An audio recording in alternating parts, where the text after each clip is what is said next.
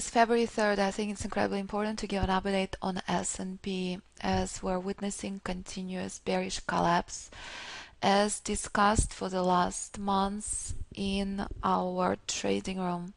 This is the most powerful bearish structure we had seen since 2010.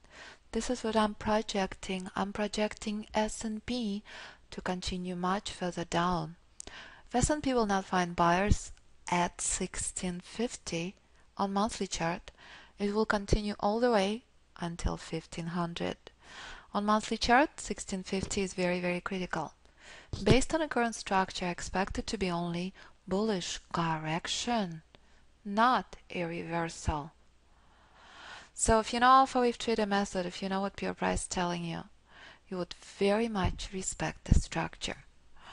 And again, let's hope we're gonna get our dream bearish formation as we gotten in 2009 as it was bullish at 900 what a lovely place that was to buy. The problem is, bullish trend is over with. This is a collapse is not to be ignored as we're witnessing this confirmation of multiple time frames. Here's daily. Very, very big bounce on daily. Will be at 1724.75. I don't expect many buyers to show up. I expect it to be nothing more but a bullish correction and then I expect the trend to go much lower down. A bit of a bump at 1650 area, 1600, and then all the way down to 1500. Today in the trading room we had taken so far four trades. I may surprise everybody and I may just take a long four trades. I will declare one trade negative out of four, but we had total of about nine setups. Very very many trades on S&P reminding you the importance of keeping trades to a minimum. Two winning trades you are out. So so far out of four I will declare one negative despite S&P being in profit. So let's see. What reversal zone is telling me? Because guess what I'll be taking long at any point trade the time frame you see but do not ignore the fact that bearish trend is overwhelmingly short. But each and every trend will become very, very tired. Do not ignore the fact what danger zone and reversal zone is. As I expect buyers to show up and I'm already seeing it on smaller time frames. So that's all there is on S&P. What will S&P do in the next two minutes? Will I take another trade? Monitoring S&P carefully.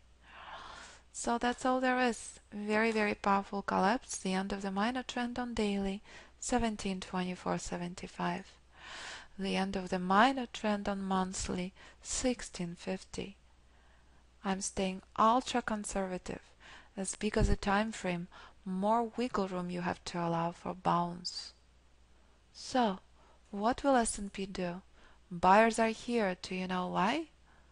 Because my guiding light one hour reached reversal zone.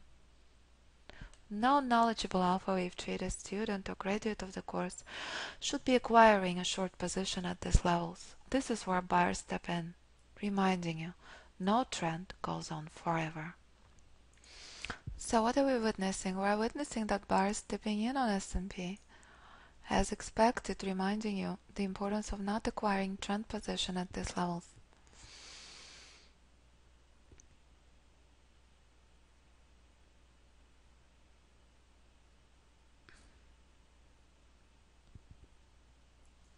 So here we are closing up the room today on February 3rd. Incredibly historical day. Trade number five on S&P. If I've taken every trade on S&P, I would have enough trades for a month. Why in the world have I done that? Because I knew that my trend is very, very tired. So here it is. Pretty please respect the very, very reversal zone. That's where I will call for my very first target. Very important to respect where these levels are that simple and that pure. No, we're not to acquire trend position. My trail is incredibly close. Very first target is right now. If you know where reversal zones are, you know where not to acquire trend position. And it don't matter if you trade 5 range or if you trade monthly or weekly. So here we are, 5 trades later on S&P. The smallest chart I would ever trade is right here in front of you, reminding you, take a trade when price tells you so. And if you know how to read your price, you would know to monitor for reversals. We are not out of the woods when it comes to the larger time frame, clearly. But I simply trade what I see.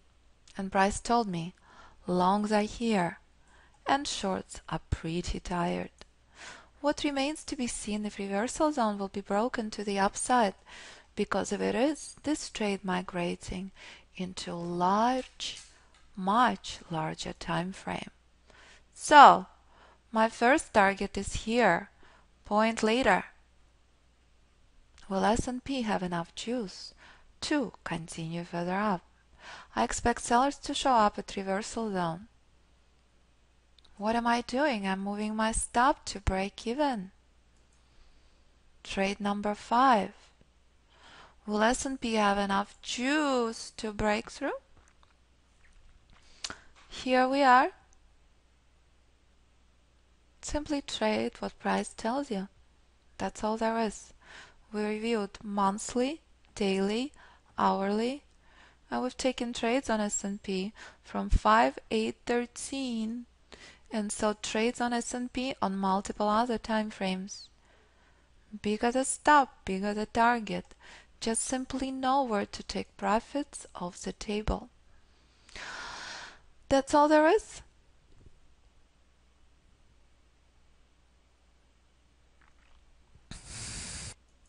As expected, prices struggling to break through reversal zone one tick prior, sellers stepped in. Here we are. One point out, five range.